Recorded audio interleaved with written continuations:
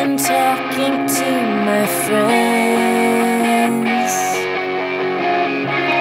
I hope they don't invite him.